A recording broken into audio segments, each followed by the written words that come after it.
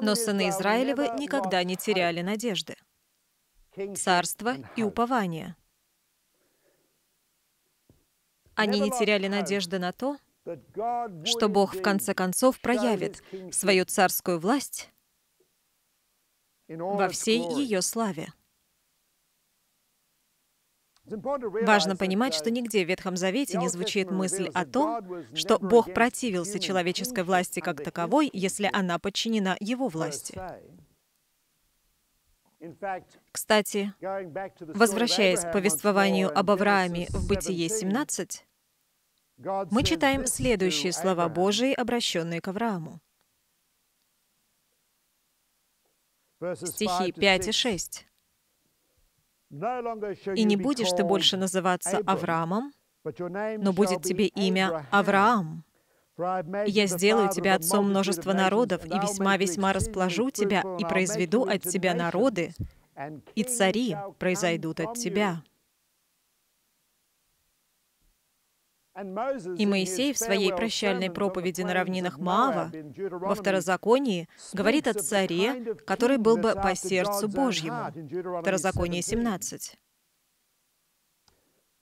Стихи с 18 по 20. Но когда он сядет на престоле царства своего, должен списать для себя список закона сего с книги находящийся у священников левитов.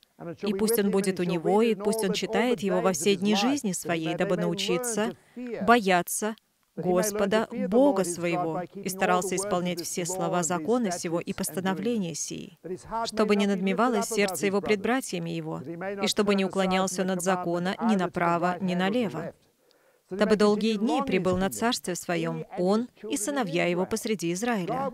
Бог не возражал против земных царей при условии, что они будут находиться под его властью. При этом качества земного царя описываются во Второзаконии 17.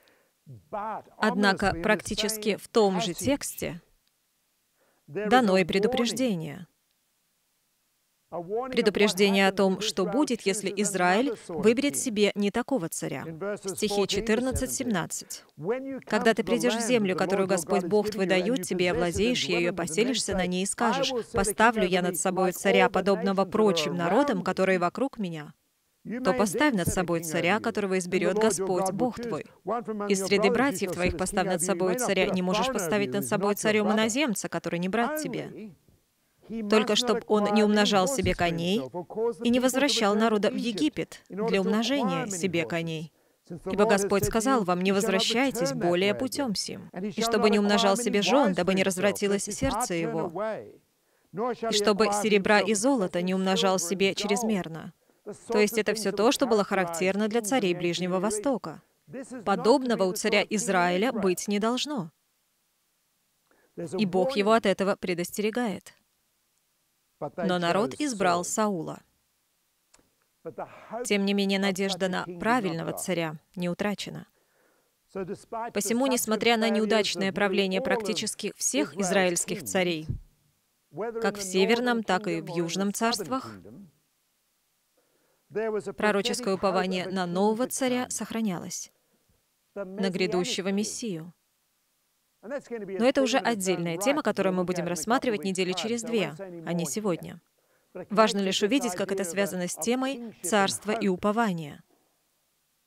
И даже с ветхозаветным ожиданием того, что в качестве царя придет сам Бог. Придет не только как Спаситель, но и как Судья.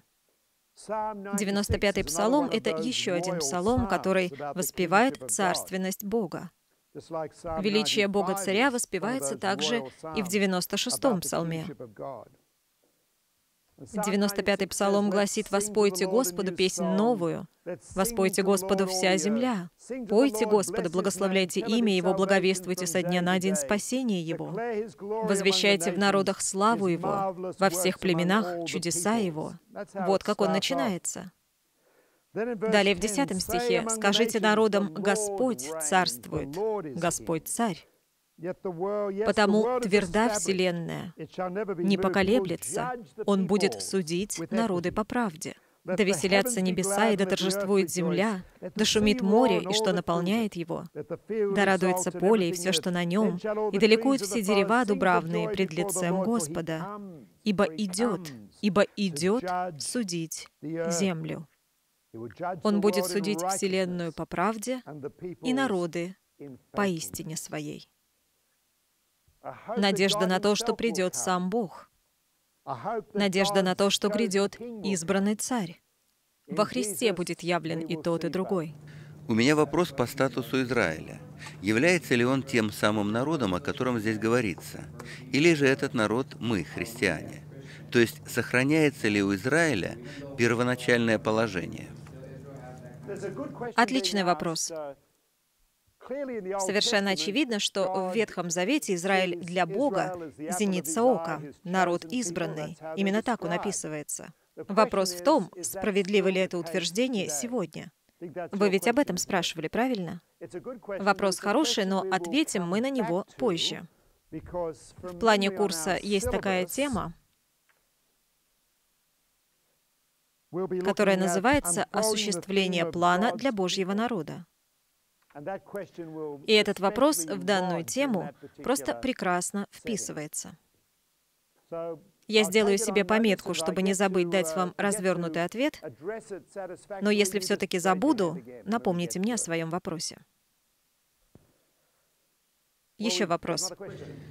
В Ветхом Завете храм был местом Божьего присутствия, а после пришествия Христа храм Божий, как говорит Писание, внутри нас есть. Скажите, как здесь одно соотносится с другим с точки зрения всего Писания? И этого мы тоже будем касаться.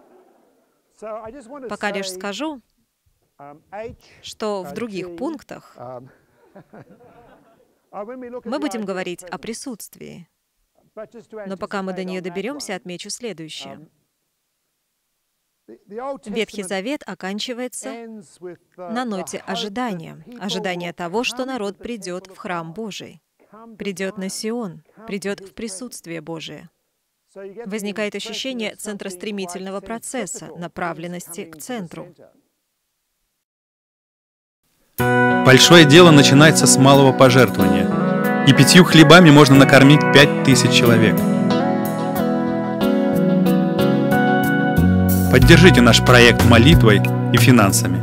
О чем молиться и как пожертвовать вы можете узнать на сайте www.tvseminary.com. Совершенно необычно и поразительно в Новом Завете то, что это присутствие, этот храм шагает по земле в лице Иисуса.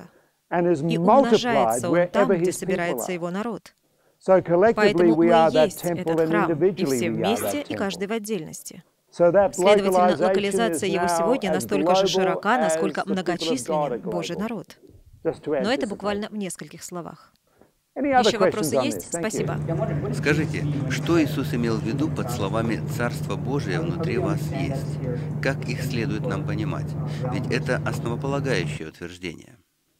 А кому точно принадлежат слова «Царство Божие внутри вас» – Иисусу или Павлу? Мне казалось, что Иисусу, но я могу ошибаться. Uh, к этому мы еще вернемся, так как приступаем к теме «Воплощенное Царство», где будем uh, рассматривать вопрос Царства и Христос.